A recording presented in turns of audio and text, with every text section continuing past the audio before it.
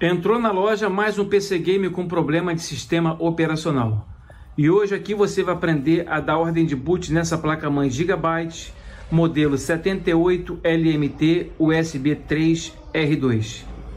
Já estou aqui com meu pendrive bootável na, na porta traseira, onde você vai aprender tudo no passo a passo como é que você formata essa máquina. Pessoal, eu estou com o sistema operacional aqui aberto. Se você não quiser abrir a sua máquina para ver a sua placa-mãe, o modelo dela, você pode vir aqui, através de um comando, vocês identificar as informações da sua máquina. Aqui ao lado de iniciar, vocês vão digitar o comando DXDIAG. A letra D é maiúscula. Vou dar um Ctrl V, que eu já copiei. É nesse aplicativo que vem as informações da sua máquina.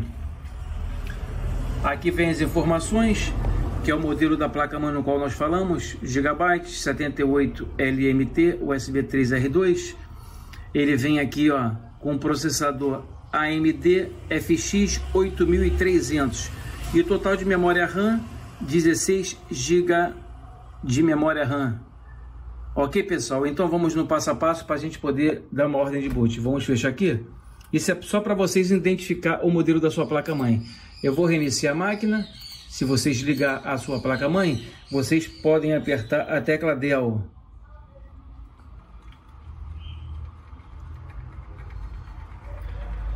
Vamos pressionar repetidamente a tecla Del para a gente ter acesso ao BIOS dessa placa-mãe. No primeiro menu vocês dão Enter. Aqui vocês não precisam mexer em nada. Um ESC para voltar com as setas direcionais para baixo no segundo menu, vocês dão Enter. Aqui vem as informações do hardware. Aqui no caso está com um SSD instalado. Aqui nessa função aqui vocês podem descer com as setas direcionais. Dá um Enter e você colocar aqui com todos os erros e dá um Enter. Um ESC para voltar. No terceiro menu, com as setas direcionais para baixo, dá um Enter. Aqui nessa opção, vamos descer simplesmente aqui nessa primeira ordem de boot, ó, primeira, segunda, terceira. Nessa primeira nós vamos dar o Enter e nós vamos selecionar o nosso dispositivo boot boot. Se você não quiser selecionar, vocês muito bem, vamos deixar aqui em HD, normal. Vocês podem aplicar um F12 no decorrer do boot. Vamos então pressionar a tecla F10 para salvar e vamos dar o Enter. Pressionando então, pessoal, a tecla F12 do teclado, para a ordem de boot. A Dell simplesmente foi para a gente acessar o bicho para configurar. Se você quiser vir direto, você pode simplesmente apertar a tecla F12. Isso se você quiser fazer alguma alteração no BIOS. Com as setas direcionais para baixo, vamos selecionar a sua opção USB HDD e vamos aplicar um Enter. Vamos aguardar que ele está fazendo a leitura do dispositivo. Essa placa-mãe aqui é muito rápida. Ela está com uma placa de vídeo para rodar jogos, SSD e bastante memória. O processador ajuda muito nessa causa aí.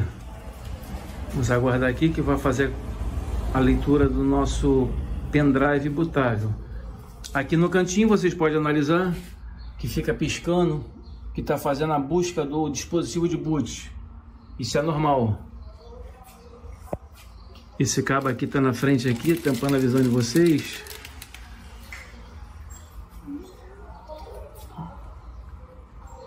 Ele fica assim, pessoal. Isso não é erro, não. Pode deixar piscando lá atrás. O monitor fica piscando, que está fazendo a leitura do dispositivo. Em alguns casos, ele passa direto, rapidamente. Em outros casos, como esse aqui, ele fica buscando o dispositivo. Ele está com dificuldade de fazer a leitura mas já já vocês vão ver que ele vai entrar na tela das primeiras configurações. Aproveitando aí, se inscreva no canal, deixe o joinha se estiver gostando dos nossos vídeos, dúvidas, perguntas e sugestões na parte de baixo do comentário. Então tá aí, sem nenhum corte para vocês, ó. Já buscou a inicialização da dispositivo de boot? Onde aqui você faz total configuração. E a partir daqui, pessoal, é só seguir o passo a passo que vocês fazem assim a instalação do, do sistema operacional Windows 10.